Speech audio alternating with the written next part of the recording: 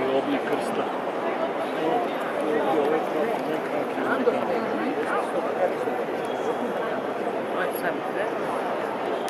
Siamo immaginati, preghiamo.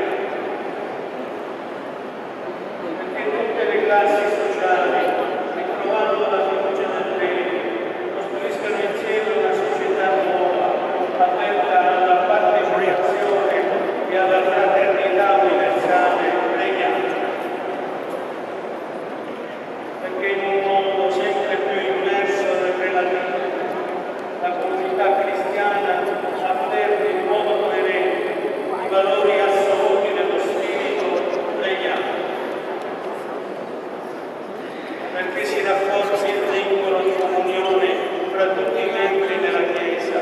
E così il popolo